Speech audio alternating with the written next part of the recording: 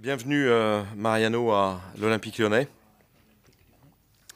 Donc c'est un, moment important pour euh, le club puisque vous le savez, euh, on avait fixé un certain nombre de, priorités et Mariano faisait partie de ces priorités. Je voudrais tout de suite dire que c'est une opération qui est un peu exceptionnelle parce qu'au départ, le Real Madrid ne voulait pas se séparer euh, de Mariano. Et Mariano voulait, euh, lui, euh, par contre, s'il devait quitter, un transfert. voilà, donc on s'est mis d'accord sur un contrat de 5 ans avec un transfert qui, quand j'ai lâché la discussion, était à 8 millions et demi Non 8 millions?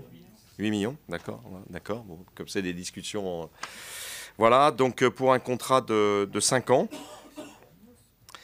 Et euh, bon, je pense que vous le savez, euh, Mariano était un des espoirs importants du, Real Madrid. Donc pour lui, c'est un, choix de, et une stratégie pour venir ici à Lyon pour gagner des titres, pour être titulaire.